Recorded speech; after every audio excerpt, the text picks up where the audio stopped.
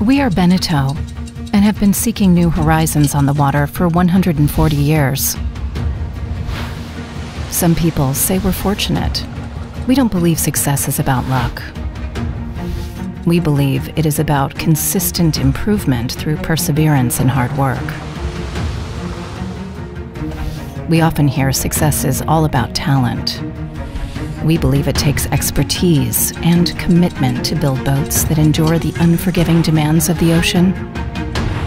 It is said that sailors are loners. That's why we like to bring them together. We believe passion should be shared. The ocean is everyone's playground.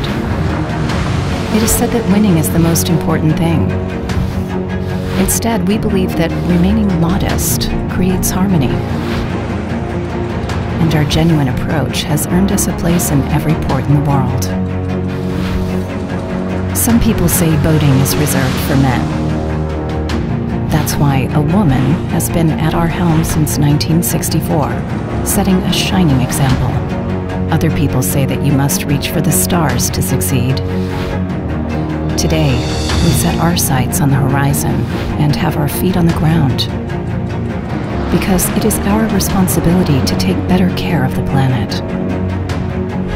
So we're sticking to our convictions, staying the course, and continuing to forge ahead, making the most remarkable boats in the world. We are Beneteau, and today we are 140 years old.